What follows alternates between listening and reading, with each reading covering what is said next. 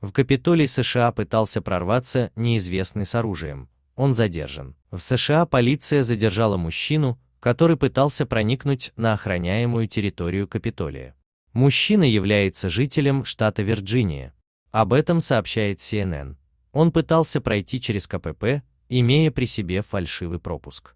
Во время досмотра у него были обнаружены пистолет и боеприпасы, в том числе свыше 500 патронов.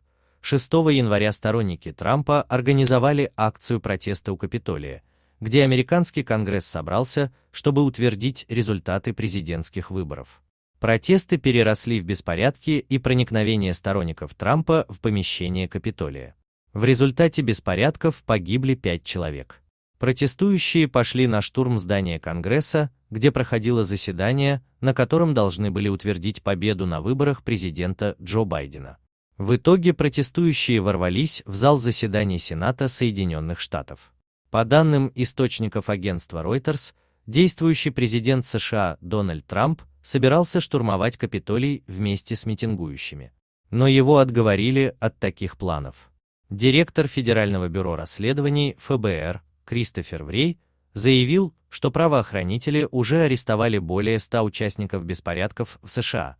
Напомним, 7 января министр транспорта США Лейн Чао подала в отставку. Так она отреагировала на ситуацию с беспорядками. Она первой из министров отказалась от своей должности после событий в Капитолии.